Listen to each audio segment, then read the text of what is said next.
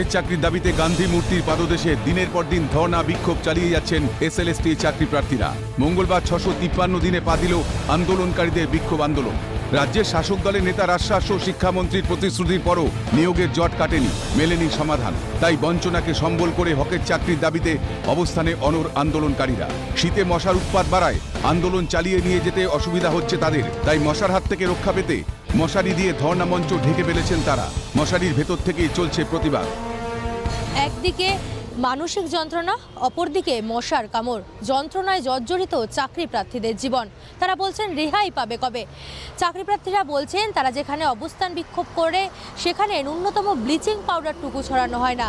শীতকালে মশার উপদ্রব ক্রমশ বাড়ে সন্ধে ঘনালেই আন্দোলনকারী চাকরি প্রার্থী শহীদুল্লাহ মুখ্যমন্ত্রীর উদ্দেশ্যে অনুরোধ জানিয়ে বলেন মৃত্যুর আগে চাকরির ব্যবস্থা করুন। শীতকাল এলো দিনের পরিমাণটা কমে গেল তখন তিনটের পরে থেকে, একটু আলাদারি হলে তিনটের পরে থেকে আর এই জায়গাতে টেকা যাবে না। এত মশার অত্যাচার। তো এই জায়গায় দাঁড়িয়ে আমরা যে যতটা রিস্কের মধ্যে দিয়ে দিন যাপন করছি, গোটা বাংলার মানুষ এই জিনিসটা দেখছে, সরকার, দায়িত্বশীল সরকার এটা দেখছে, বিচার বিভাগ দেখছে। তাহলে কি বাংলার মানুষ, বিচার বিভাগ, সরকার কি চাইছে যে এই যুবক গোষ্ঠীগুলো এরা মরে যাক? বিকাশবাবুর মুখে আমরা শুনতে পেলাম যে আমরা নাকি আন্দোলনকারী অযোগ্য। দুর্ভাগ্যজনক মুখ্যমন্ত্রীর কাছে আবেদন রাখছি যে আমাদের মৃত্যুর আগে অন্তত চাকরি ব্যবস্থাটা করুন। নিয়োগের দাবিতে সোচ্চার হন অন্যান্য চাকরি প্রার্থীরাও।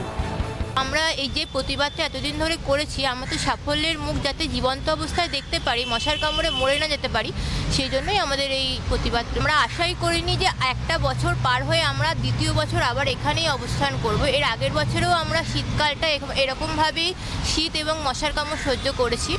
তো আবার একটা বছর অতিক্রান্ত করে আমরা এখ- এখনও এখানেই আছি এবং আমাদের অবস্থার কোনো উন্নতি হয়নি। সমস্ত জট কেটে মুক্তির সূর্য দেখার অপেক্ষায় দিন গুনছেন চাকরি প্রার্থীরা। সমস্ত বাধা উপেক্ষা করে রাস্তা ছেড়ে স্কুলের চৌঘাট কবে পেরোতে পারেন আন্দোলনকারী হবু শিক্ষকরা, সেটাই এখন দেখার।